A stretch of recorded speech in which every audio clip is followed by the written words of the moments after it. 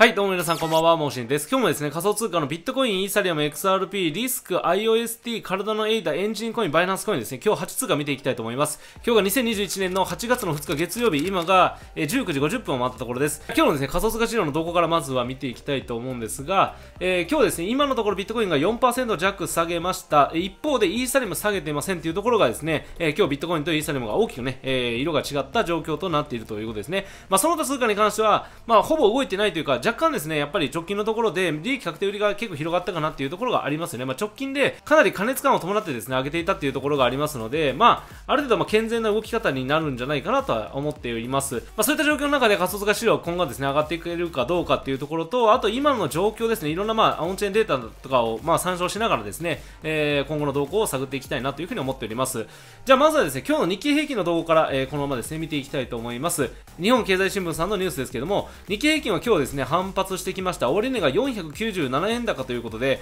えー、大幅反発と言っていいと思います。えー、2日のですね、今日の日経平均株価なんですけども、大幅反発しまして、前週末期でいくと1.82%高の27,781円までおええー、上げてきたということですね。前週末に大幅に下落した分を、まあ、ほぼ埋めたということで、えー、事実反発の予想が、まあ、伺えるということがですね、言われております。まあ、今日に関しては日経だけじゃなくてですね、中国や上海株をはじめとする主要なアジアの株価指数も、まあ、堅調にですね、推移したというところもあってですね、えー、まあ、日本株に関しても結構堅調に動いたんじゃないかということが言われております。一方で、えー、2日からは国内のコロナ感染の急拡大を受けて緊急事態宣言が発令されました。まあ、こういった状況もあって夏休みの帰省、それから旅行の自粛を求める動きが強まる中、えー、鉄道株などに売りが出たということがですね言われております。で、まあ、今週のですね最大の注目ポイントといえば、まあ、今日もですね結構重要な指標指標発表がありまして、えーと、今日ですね8月2日に関しては23時からですね7月の ISM の製造業景況指数が発表されます。えー、それからまあ今週ですねついでに言っていくと8月の4日にですね21時15分に ADP の雇用統計が発表されます。まあ、金曜日に4月の非農業部門の雇用者数変化と、あとは失業率が発表されますよね。まあ、その前に ADP の雇用統計が発表されるということで、ある程度ここでですね、市場の、ま動向なんかがですね、予測しやすい状況になるんじゃないかなと思っています。なので、ここもですね、かなり注目が集まってくるんじゃないかなということですね。で、今の市場のまあ見方なんですけれども、えっ、ー、と、今日発表される ISM の製造業景況指数に関しては、え6月時点の状況と、まあ、そんなにですね、大きく変わっていないという状況がありますので、景況指数の改善は期待できないというふうにですね、見られているということですね。一方で、えー、今週ですね、金曜日発表されます、えー、いわゆる雇用統計に関しては、前月比で言うと90万人を増加するというふうに見られておりまして、失業率も5.7%に下がると、えー、6月がですね、5.9%だったので、それを下回ってくるんじゃないかっていうふうな見方になっているということですね。で、まあ、過剰な失業手当がですね、働かないといけないという気持ちを阻害してね、えー、雇用者数が伸びないという状況は、まあ、変わりないということを言われているんですが、ワクチン接種の拡大によって企業活動は基本的にはま拡大しているということで、4月の雇用統計に関しても、6月の実績と同水準となる可能性があるということですね。失業率については、サービス産業などの、採用増加などが予想されており、6月の実績の5.9%を下回る可能性が高いというふうに見られているということですね。まあ、これ通りね、雇用がちゃんと回復してきているかどうかっていうところがですね、市場の、ま、大注目になっているということで、こういった雇用のね、改善が見られれば、テーパリングの議論もですね、進んでいく可能性があるということで、ここも合わせてですね、見ていくべき、え、ところじゃないかなと思っています。まあ、ここから仮想通貨市場の動向を見ていきたいと思うんですが、まず1つ目ですね、コインポストさんのニュースですけれども、えーと、ビットコイン相場工程の背景に3つのデータ傾向があるんじゃないかってことが言われております。面白いデータを並べて、くださっておりますので、えー、概要欄にリンクを貼っておりますので、ぜひね、見ていただければというふうに思います。で、最近の、まあ、データトレンドとして、えー、ここ最近、まあ、強含んできている状況の要因となったのが3つあるというふうに、えー、挙げられておりまして、取引所の供給量低下、それから8日連続の買い優勢、それからホルダーの買い集め継続ということがですね、言われております。えー、これね、一つずつちょっと見ていきたいと思うんですが、取引所の BTC の供給量が低下しているっていうところがですね、このイエローブロックさんの、ツイッターアカウントからですね、まあ、報じられているということで、まあ、こちらがそのデータになっているわけですけども、ここで、これ直近のところでですね、一気に急降下しているっていうところが分かりますよね。なので、えー、まあ、ここにも書かれておりますけれども、預け入れられているビットコインの供給量が過去2年間で最も低い水準に到達したと、えー、報告しているということで、かなり今ですね、取引所からの出金傾向が強まっていると、いわゆるそのガチをしようと思っている思惑がですね、こういったオンチェンデータから見て取れるということですよね。まあ、これにちょっと関わるデータとしましては、このウィル・クレメントさんですかね、のツイッターアカウントからもですね、グラスノードの記事、えー、グラスノードでデータデータを用いて、そういったところがですね、報じられているんですけれども、これがですね、全体の需要に対する取引所の供給量を表している、まあ、比率データということなんですけれども、大きく急落した以降、ずっとね、あの、下げ傾向だったわけですけど、そこから上昇傾向に変わって、直近で一気に伸びているということですよね。まあ、あの、レシオなので、えー、さっきのデータとはまあ逆の相関になっているということなんですけれども、まあ、いずれにしてもですねこの、えー、5月ぐらいの、ね、最高値付近で動いていたところまで一気に回復したっていうのがですね今のデータで、えー、分かるところじゃないかなと思っています。まあ、この傾向は、えー、こちらに関しても同じですね。なので今、ビットコインの希少性、いわゆる希少性が高まっていって価格上昇になっているというふうなね、見方になるんじゃないかなと思っています。それから8日連続で買いということで、えー、まあ、ウィリー・ウーさんがですね、8日連続で大小問わず BTC 保有者の買いが続いているということをですね、指摘しております。まあ、冷やしレベルのその陽線連続本数で見ても、やっぱ10日間連続ぐらいですね、ずっと上昇しておりますので、えー、こういったところはですね、過去10年間でこのような傾向が観測されたことがないというぐらい、まあ、異例の事態だということなんですね。まあ、これに関しては先ほどの、えー、ウィルセレ、えー、クレメントさんですかね、こちらのツイッターアカウントでも、まあ、言われておりますけれども、えー、過去にはですね、今ほどビットコインの買い集め傾向が強かった時期はないというぐらい、えー、まあ、強いですね、オンチェンデータが、まあ、示されているということですので、5月に起きた急落からですね、下落トレンド開始っていうところは、完全にシナリオを否定していて、えー、ここからですね、やっぱり上昇していく強気のサインになっているんじゃないかってことがですね、えー、ツイッター内でも言われているということですね。えそれから買い集め継続ということで、長期保有者によるビットコインの保有量がですね、どんどん増えてきてるよっていうところが言われておりまして、え5月のピークの時ですね、この水準まで、えもうね、回復してきているということが言われているんですね。で、5月のピーク水準から108日で復帰したと言及したと。で、2017年のピークの時は600日かかっているということなんですよね。なので、まあそこから比べても、やっぱり過去にはないぐらいの強気ムードにですね、今なっているということがですね、えこのデータでも示されているところじゃないかなというふうに思っております。で、まあ、クジラもですね、買い増しを継続しているということで、まあ、これ、えー、クジラがですね、えっ、ー、と、100から、えっ、ー、と、1万 BTC ですかね、持っているクジラの数ということなんですが、どんどんどんどん増えてきている傾向があるということで、まあ、クジラの動向もですね、強気を示しているということが言われております。まあ、そんな感じで結構ね、えー、全体的に強気ムードが広がっているっていうのが今の状況ですね。でその中で直近ですね、一旦下落しました。今日ですね、一旦急落というかね、下落しているわけですけれども、えー、これでですね、生産データを見ていくと、直近でですね、ロングの決済がね、ここ、えー、高い水準まで上がっているっていうのがよくわかりますので、まあ一旦のですね、利益確定売りになったんじゃないかなと思っています。まあ僕個人的にもやっぱりこれは、堅調な動きの中での範囲内での、えー、下落になっているかなと思って思っていますので、まあ本当に堅調に上げていくにはね、この調整がないと、ただのこう加熱感を伴った爆上げみたいな形になってしまいますので、まあそんなに大きなね、えー、懸念を抱くようなものではないんじゃないかなというふうに僕は考えております。じゃあここからですね、相場分析の方入っていきたいと思います。はい、じゃあまずはですね、ビットコインの冷やしから見ていきたいと思います。今が、えー、ビットコインがですね、3万9500ドルまで下がってきておりまして、日本円で言うと433万円付近を推移している状況です。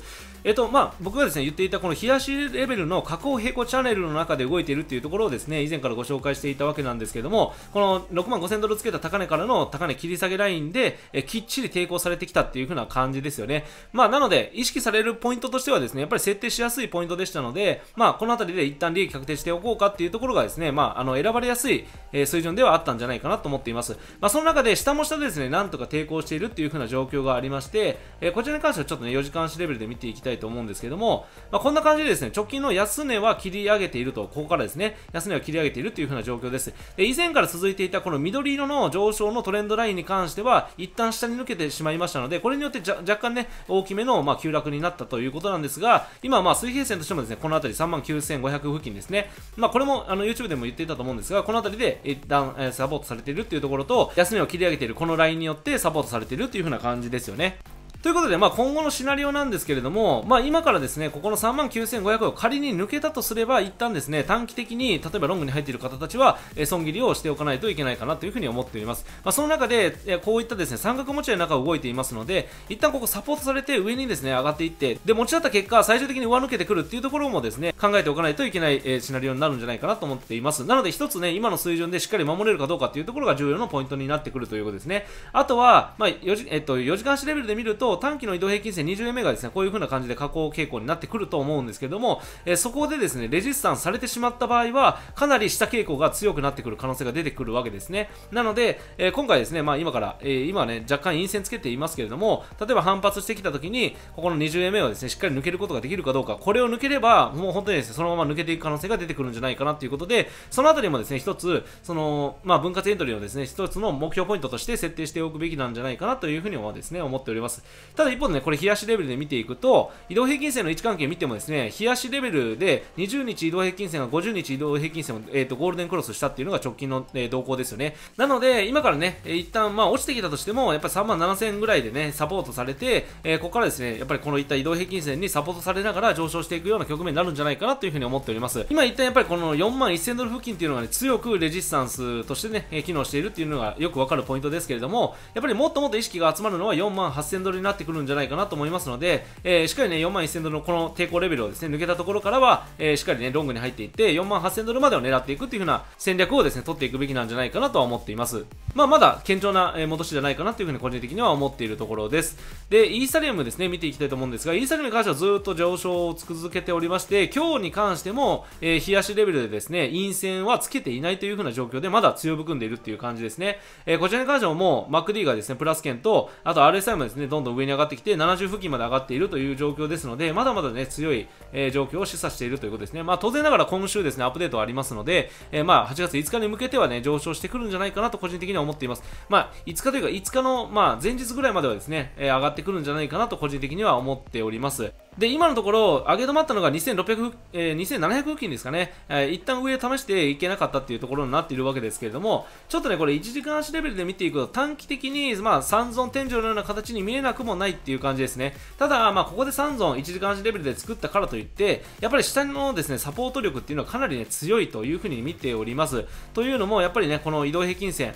えー、短期の移動平均線がまあ控えているっていうところと、あと下にはですね、中長期もね、えー、しっかり、えー、綺麗にね、パーフェクトオーダー作って控えているいるっていうところがあります。それからここのですね、え上昇の平行チャンネルの加減を切り上げているラインもですねしっかり控えているっていうところがありますのであとまあ水平線としてもねこの2550付近がねかなり機能しているっていうのは直近でよくわかるポイントですのでまあ一旦戻してきたとしてもこういったラインでですねサポートされてまだまだですね上昇は継続していくような相場環境が、えー、まあ期待できるんじゃないかなと思っていますで引き続き、えー、2900ぐらいまでの上昇というのはですね、えー、十分期待できるんじゃないかなというふうに個人的には思っておりますで続いて XRP なんですけども XRP もですねかなり強い動きが続いておりまして直近で大きく下げたポイントがありましたが、一気に買い、えー、座剤されてきたということで、一気に買い買い反発されてきたということですので、まあ、買いの需要もですね、かなりあるというところが直近でね、伺えるような、えー、動向になったのと、あとはこの73セントのこの水平線ですね、ここがかなり注目されているっていうところも改めてですね、確認できるような値動きになったんじゃないかなと思っています。で、まあ、直近下げてきて戻したポイントですので、やっぱりこの辺りからですね、買い集められていって、最終的にはです、ね、ここの高値ですね、77セント、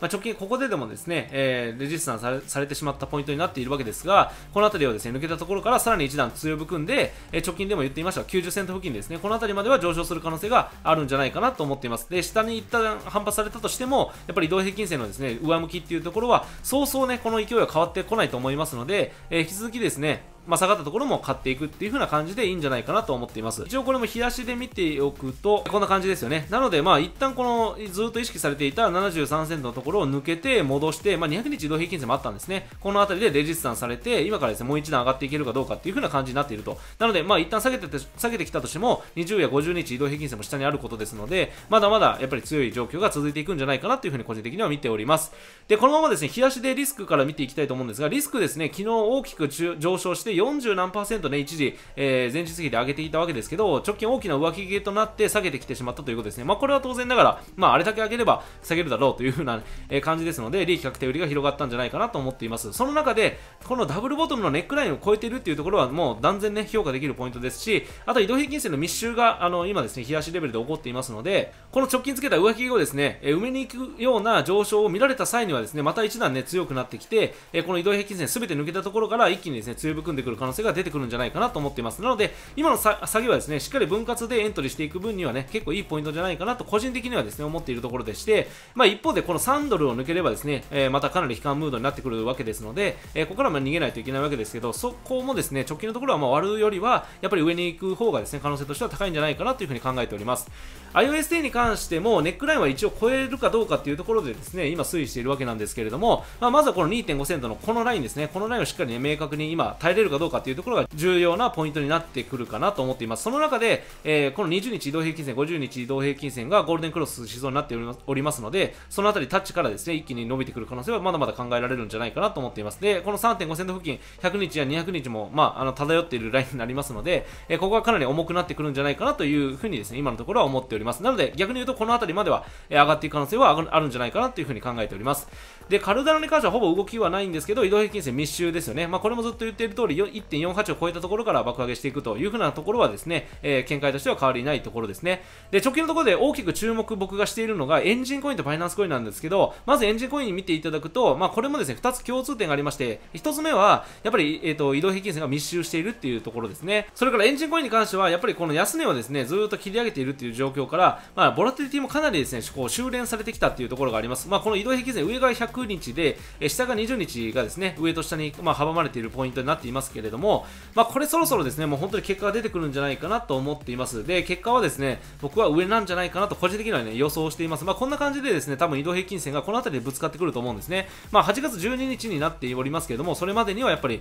大きなですね、保護感を出してくる可能性が十分で考えられるんじゃないかなと思っています。特にまあ、やっぱりイーサリアムがですね、アップデートするあたりの8月5日なのか、まあ、特に今週の値動きっていうのはかなりですね、重要な、えー、ポイントになってくるんじゃないかなじゃないかなと思っていまして、これを抜いたところからはですね、一気に相場が転換するぐらいのですね、上昇を見せる可能性があるんじゃないかなと思っています。で、まずは2ドルですね。2ドルはかなり意識されておりますので、えー、2ドルまでは上昇して、そこからまあ上がっていけば、本当に直近最高値のがですね、狙えるぐらいの上昇につながってくる可能性もあるんじゃないかなと思っています。で、ほぼ同じような見解を持っているのがエンえっと、バイナンスコインですね。バイナンスコインすごいですよ、これ。えー、陽線をですね、ずっとつけてます。なので今がですね、多分12日ぐらい連続でつけているんじゃないかな。まあ、上げ幅としてはそんなにですけれども、まあ、ずっと堅調に動いてきてるっていうのは変わりないですよね。え、その中で、え、ここ移動平均線が今20、50、200がですね、密集しておりますし、ネックラインですね、この324、5付近の、えー、なんとか上に抜けるかどうかかっていう風な展開になっておりますので、これ抜けたところからですね、一気に強含む可能性は十分考えられるんじゃないかなと思っています。まあ、直近の動画ね、このバイナンスコインとエンジンコインは引き続きですね、注目しておかないといけないかなと。